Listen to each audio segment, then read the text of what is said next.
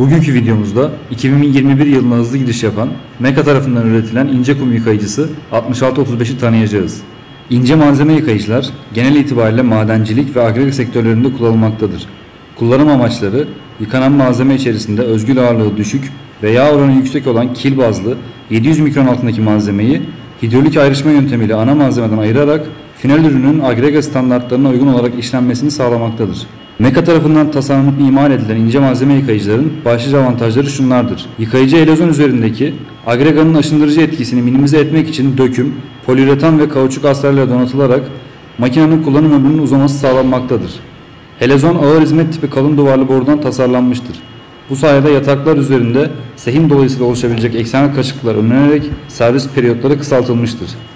Tahrik mekanizmasında endüstriyel tip yüksek çevrim oranlı redüktör kullanılarak aşırı zorlanma ve tork değerleri altında stabil performans sağlanmaktadır. Helezon avare taraf yataklaması gövdenin dışından yapılarak rulman ömrü uzatılırken servis ve bakım işlemlerinin pratik şekilde yapılmasına elverişli tasarım geliştirilmiştir. Yıkayıcı üzerinde yürüme yolları ve bakım platformları standart donanım olarak sunulmaktadır.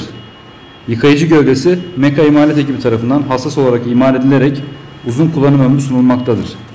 Ayrışma havuzundaki seviye savakları sayesinde hidrolik ayrışma boyutu prosese özgü olarak ayarlanarak kaçak oranlarının düşürülmesi sağlanmaktadır. Tesis kapasitesi ve ayrışma boyutuna bağlı olarak tek ve çift televizyon opsiyonlarıyla 600, 800, 900, 1100, 1370 ve 1670 mm çaplarında ince malzeme yıkayıcılar Meka Mühendislik Ekim tarafından tasarlanarak her türlü şart altında istenen yıkama ve ayrıştırma çözümleri sektöre sunulmaktadır. Daha fazla bilgi almak isterseniz web sitemizi ve sosyal medya hesaplarımızı ziyaret edebilirsiniz.